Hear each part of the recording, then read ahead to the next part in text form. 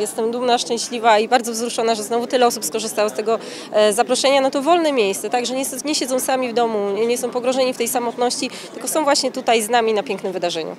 E, Będzie pyszne jedzenie, ale to nie jest naj- najważniejsze, będzie też e, po prostu obecność, tak. Część wolontariuszy właśnie przychodzi tu po to, żeby z tymi osobami samotnymi spędzić czas, porozmawiać, dać swoją obecność, jako taki świąteczny prezent. Dostałam taką propozycję, żeby urozmaicić tutaj to wydarzenie jakąś muzyką na żywo.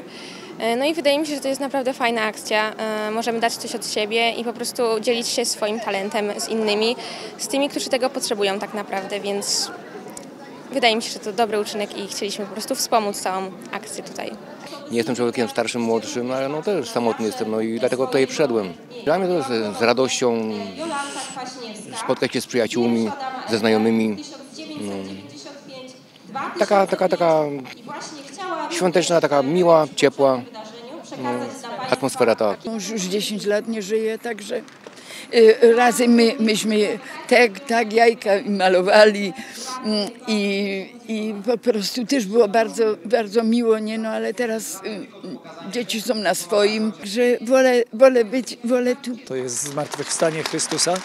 E, Święty Paweł powie, gdyby Chrystus nie zmartwychwstał, wszystko byłoby bez sensu.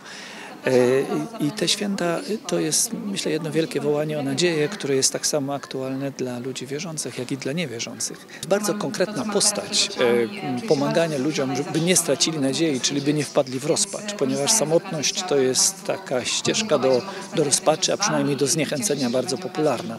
I kiedy w ten dzień, dla mnie jest bardzo ważne, że w ten dzień, e, nie trzy dni wcześniej albo za tydzień, kiedy się spotykają ludzie na śniadaniach wielkanocnych, także tutaj jest ta, to gigantyczne śniadanie, w którym nie chodzi przede wszystkim o potrawy, tylko o spotkanie.